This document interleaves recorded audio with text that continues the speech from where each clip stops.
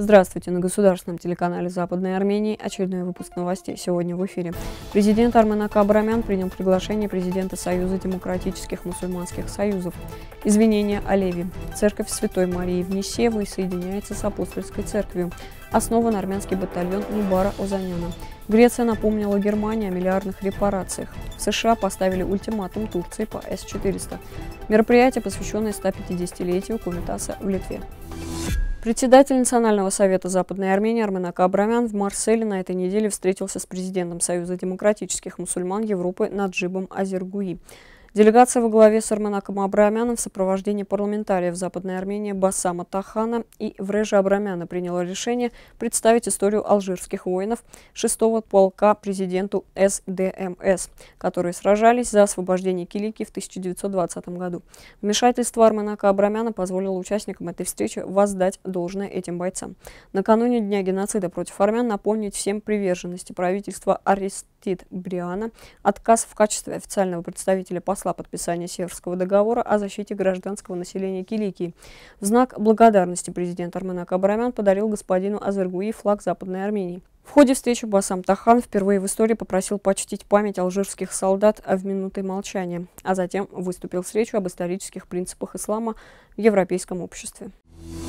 24 апреля 1915 года человечество стало свидетелем одного из самых страшных массовых убийств в истории. В результате национальных восстаний на Балканах в XVIII веке начался развал Османской империи, который ускорился в XIX веке.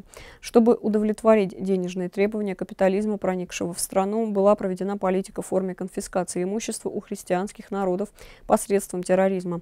В 1894 по 1996 годы в провинциях Ван Эрзрум и Сассун, Западной Армении, где проживали проживало большое количество армян, было убито более 300 тысяч армян. В 1909 году во время резни в Адане проливалась кровь армян. Процесс, который начался 24 апреля 1915 года в Константинополе с ареста армянской интеллигенции, продолжился и завершился геноцидом более полутора миллиона западных армян, детей, женщин, пожилых людей и молодежи.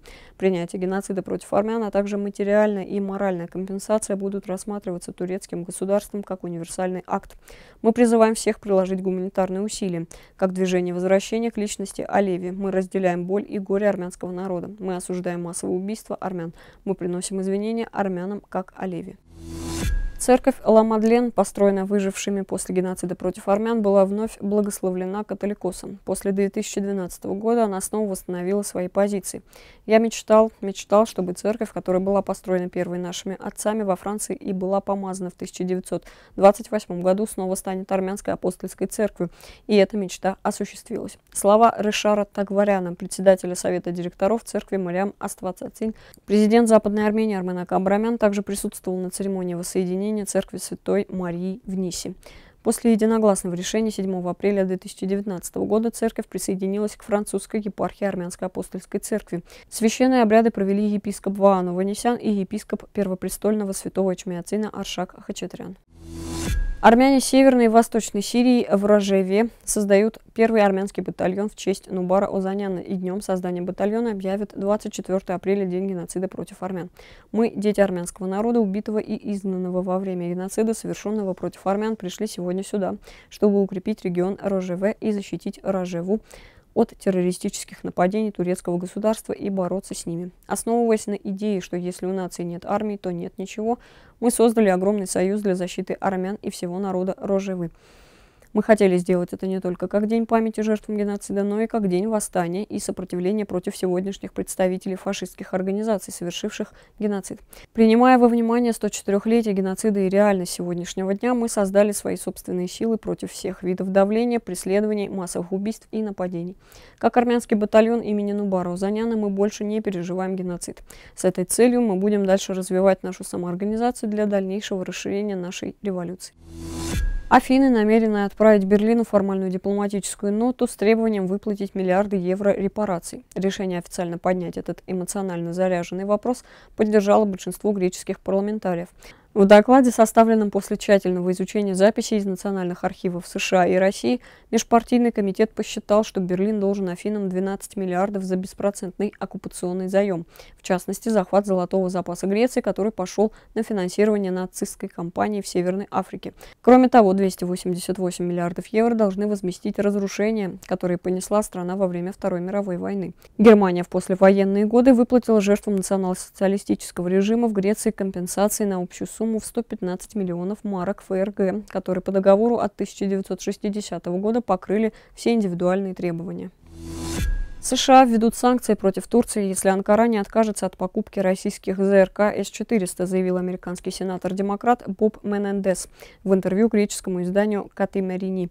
Он добавил, что Вашингтон может перенести свою военную базу из Турции в Грецию. Сенатор также исключил поставку в Анкару самолетов пятого поколения F-35. Никогда не будет F-35 рядом с С-400. Этого никогда не произойдет. Это позиция обеих партий в Конгрессе, заявил Менендес. Отвечая на вопрос о том, рассмотрит ли США вопрос о переводе американских военных баз из Турции в Грецию, если отношения между Вашингтоном и Анкарой ухудшатся. Менендес ответил, что Вашингтон сделает все возможное для защиты своей национальной безопасности, включая перевод военных баз. В историческом комплексе Полиеси-Аус два раз Игналинского района Литвы состоялось инициированное и организованное посольством Армении в Литве мероприятие, посвященное 150-летию Комитаса. На мероприятии с приветственным словом выступил посол Армении в Литве Тигран Макарчан. Он выразил благодарность руководству комплекса за проведение мероприятия, отметив, что этим концертом в странах Прибалтики начинается неделя армянской культуры, посвященная 150-летию Комитаса и 104-й годовщине памяти жертв геноцида против армян.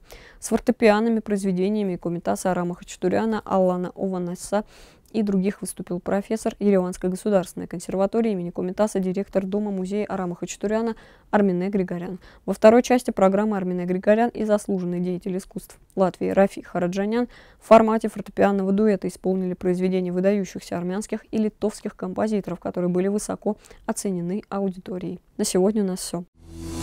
Далее мы представим вашему вниманию исполнение Офелии Амбарцумян.